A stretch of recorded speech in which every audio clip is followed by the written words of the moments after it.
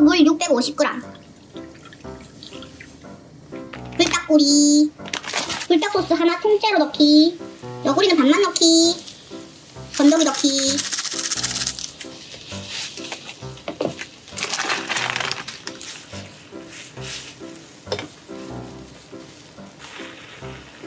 들기름 조금만 넣기.